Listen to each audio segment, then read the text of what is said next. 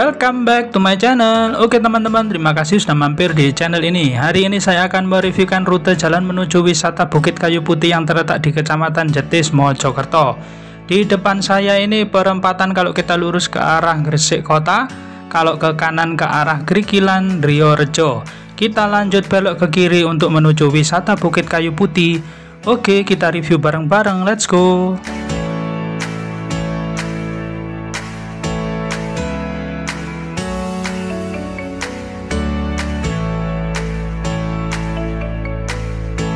Jam buka dari wisata Bukit Kayu Putih mulai dari jam 10 sampai jam 9 malam. Khusus hari Senin buka jam 1 jam 2 siang.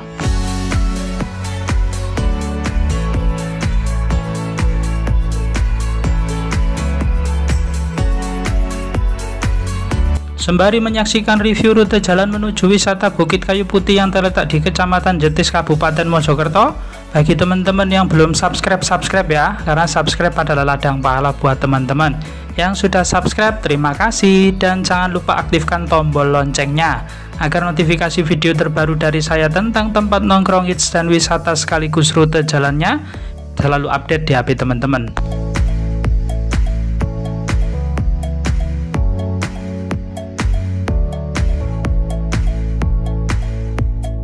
Berkunjung ke wisata Bukit Kayu Putih paling enak kalau sampai di sana sore karena bisa menikmati suasana senja saat cerah dan juga spot foto yang mulai dinyalakan lampu-lampunya.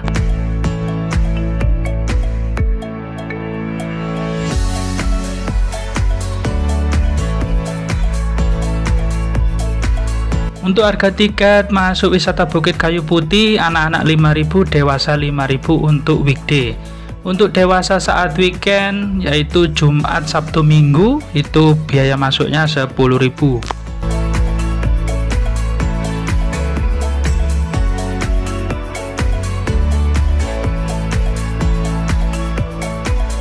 Oke, terus simak review rute jalan menuju wisata Bukit Kayu Putih ini agar selain teman-teman tahu rute jalannya juga tahu kondisi jalannya.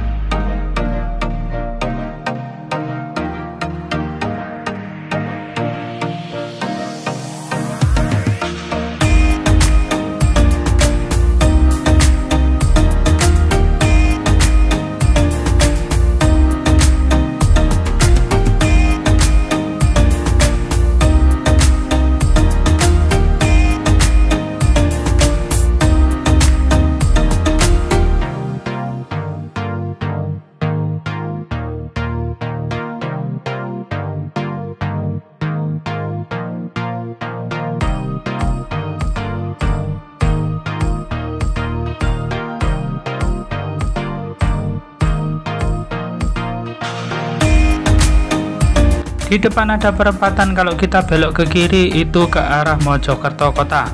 Kita lanjut lurus untuk menuju wisata Bukit Kayu Putih.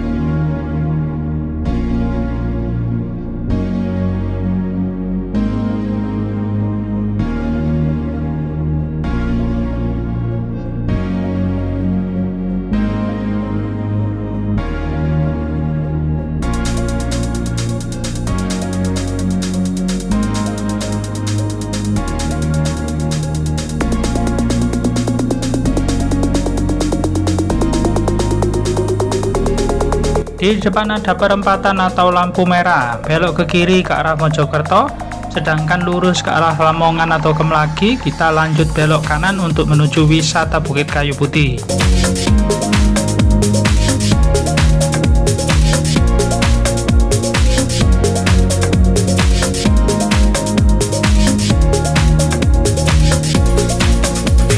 Ini kita sudah berada di Jalan Raya Kupang. Jadi tujuan kita sudah dekat, berada di sebelah kanan jalan nanti ya.